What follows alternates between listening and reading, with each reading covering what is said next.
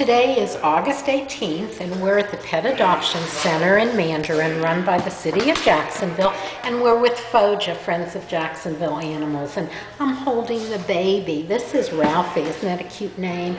He is a male, and he's only two months old, and look how he's just happy to be sitting here and being rubbed a little bit, just a little baby. And the staff here said that he is a very good boy, very sweet, obviously likes being held. So someone come get Ralphie.